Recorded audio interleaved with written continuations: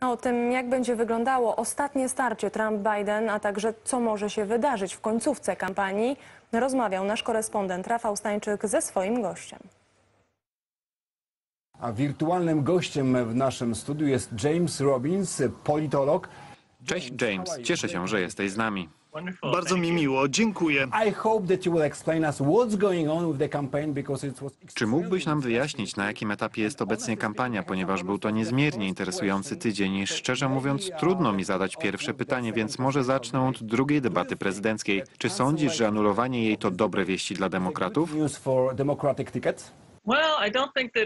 Nie sądzę, aby były to dobre wieści dla kogokolwiek, ponieważ wyborcy na pewno chcieliby zobaczyć, co stanie się podczas drugiej debaty, a tym bardziej po pierwszej debacie, która całkowicie wymknęła się spod kontroli.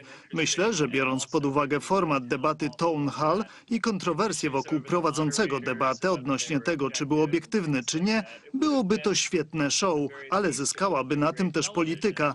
Także naprawdę szkoda, że ta debata została anulowana. Uh, Czy sądzisz, że debata w formacie town hall to dobry pomysł? Prezydent Trump przecież powiedział, że ten format na pewno się nie sprawdzi.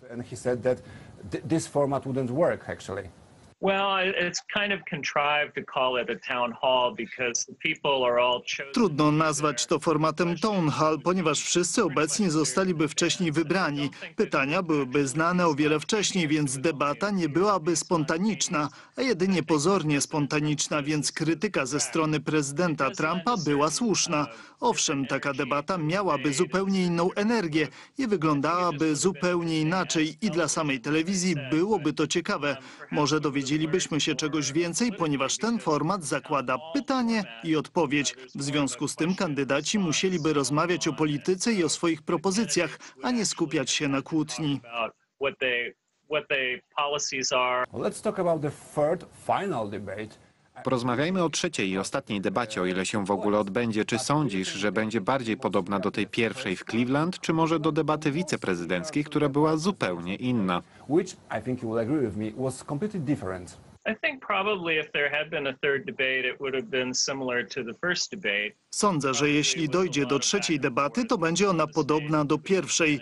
Najprawdopodobniej na scenie obserwowalibyśmy kłótnie między kandydatami, ale demokraci są w sytuacji, w której nie mogliby zgodzić się na debatę z uwagi na to, że u prezydenta niedawno zdiagnozowano COVID-19. A to dlatego, ponieważ podczas swojej kampanii demokraci bardzo skupili się na kwestii lockdownu, maseczkach, dystansowaniu społecznym itd. To jest jeden z ich głównych tematów. W związku z tym, jeśli Joe Biden znalazłby się na jednej scenie z Donaldem Trumpem, niezależnie od tego w jakiej odległości, czy też nawet w oddzielnym pomieszczeniu, to i tak by nie było to dla nich dobre.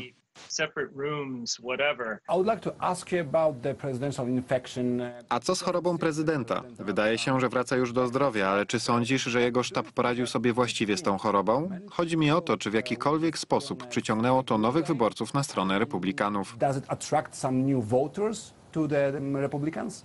Uh,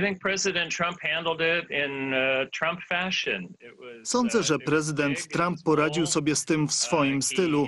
Było głośno i odważnie. Kamery i dziennikarze byli przed szpitalem cały czas. Prezydent przejechał samochodem obok swoich zwolenników i pozdrowił ich. Wrócił w chwale do Białego Domu po pokonaniu już wirusa, także było to naprawdę w jego stylu. Jego zwolennicy postrzegali to jako akt odwagi i męstwa, natomiast jego przeciwnicy postrzegali to jako generowanie niepotrzebnego ryzyka. Jednakże sądzę, że opinia publiczna ogólnie była pod wrażeniem tego, jak prezydent poradził sobie z tą chorobą i zniesmaczona faktem, że część krytyków, kiedy już zdiagnozowano u niego COVID, złorzeczyło mu. Nie sądzę, aby to było odebrane dobrze przez jakikolwiek elektorat. James, campaign? James, czego możemy oczekiwać po tej kampanii? Czy kwestia wirusa zmieni w jakikolwiek sposób samą kampanię i spotkania z wyborcami? Myślę, że nadal będzie tak jak dotychczas. Obie strony obiecują ogromne niespodzianki. Sam Trump mówi o niespodziankach, jak i republikanie.